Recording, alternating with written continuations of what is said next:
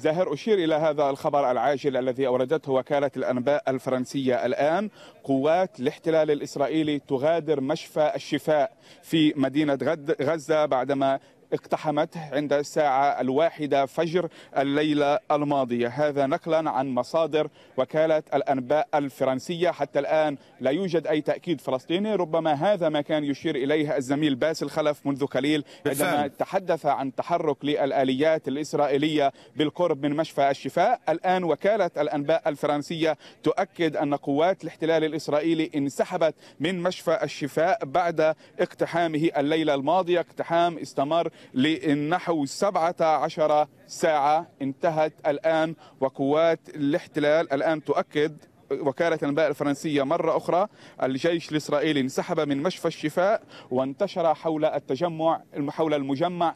إذا هذه الأنباء التي كان يشير إليها الزميل باسل خلف منذ قليل عن حركة آليات إسرائيلية بالقرب من مشفى الشفاء. هل هل, هل من تأكيدات أو أي أنباء آه لو سمحت لي أحمد هل من تأكيدات أو أي أنباء آه يعني تصف في ذات السياق من وسائل الإعلام الإسرائيلية أو من الطرف الإسرائيلي؟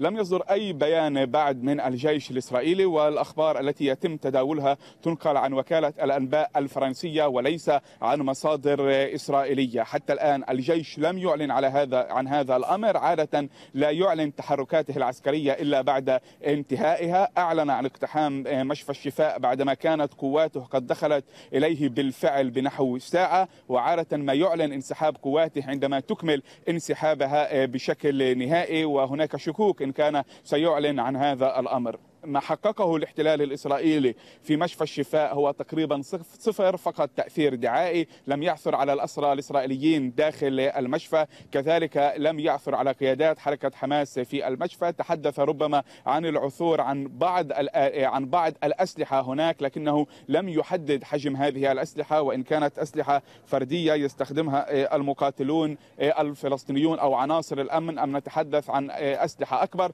لكن حقيقة عدم وجود اشتباكات داخل المشفى تشير إلى عدم وجود مسلحين فلسطينيين أو عناصر في حركة حماس داخل المشفى. إذا التطور الأبرز خلال الدقائق الأخيرة انسحاب قوات الاحتلال الإسرائيلي من مشفى الشفاء بعد 17